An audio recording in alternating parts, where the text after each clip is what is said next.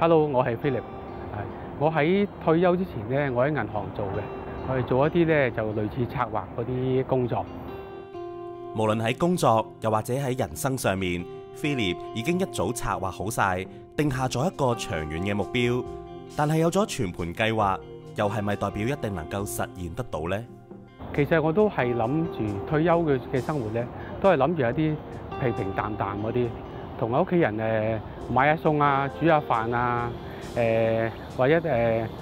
去去下啲短程旅行啊，誒一年中又唔係使好多錢，慢慢慢慢搣嗰啲錢咁樣去生活嘅。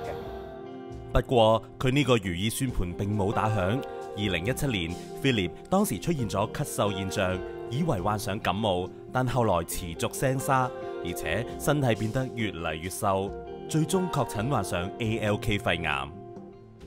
其實我自己喺度諗嘅，因為佢話咧基因突變啊，因為因為一諗住肺癌，梗係吸煙噶嘛，我又唔係食煙嘅人。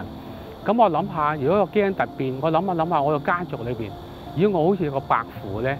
好似係肺癌嘅喎，咁但係佢又食咗幾十年煙，咁我又唔知係咪咁嘅原因啊咁樣。面對住一個突如其來嘅疾病，唔單止令到 Philip 措手不及，更擔心日後治療會帶嚟唔同嘅問題。我未患癌症之前咧，我對癌症嘅治療咧，我一認識唔深嘅，咁啊一直都係諗住都係電療啊、化療，都有心理準備，會好辛苦噶啦。咁但係咧，到到後來醫生咧就話俾我聽，咦有標靶藥可以食喎，咁誒個副作用就都有，但係就應該就一定係冇化療、電療嗰啲咁咁多啦。咁啊個心又好似又踏實咗啲啊咁樣。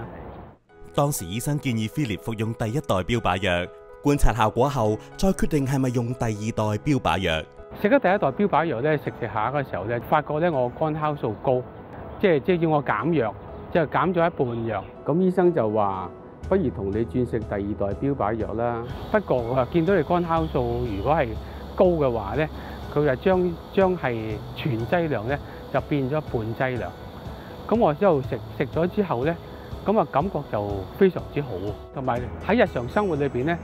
同平常人係完全係冇咩冇咩分別嘅。標靶治療對於 Philip 嚟講效果顯著，不過高昂嘅藥費就打亂咗 Philip 嘅退休計劃。佢更加覺得政府要擴大第二代標靶藥嘅資助，咁普羅大眾先至可以受惠得到。我而家自從食咗標靶藥之後咧，其實每一個月咧都要幾萬蚊嘅藥費，都幾吃力嘅。咁所以咧就好在我自己有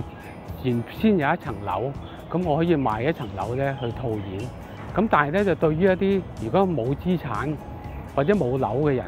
咁政府跟住係可以有啲咩嘢可以幫到佢哋咧？佢哋可能要自費一段時間，先至可以叫做係有啲機構可以做封到頂，誒幫佢係俾到藥費嘅。咁但係喺嗰段自費嗰段時期間，我相信嗰啲人咧應該都冇辦法可以支付得到。經歷過呢一場大病之後，Philip 對於人生亦都有新嘅計劃，越嚟越開始即系中意關心一啲尤其是同路人，佢哋患病嗰啲。咁我哋係即係用，尤其是我自己嘅啫，因為自己係患咗癌症咧，我都都會用第一人生咧咁去關心人。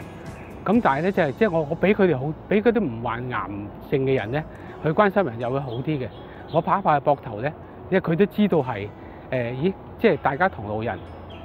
無論你點樣計劃自己嘅人生都好，最重要嘅係要把握現在，咁先至可以成就未來。有有幾句説話就係活在當下，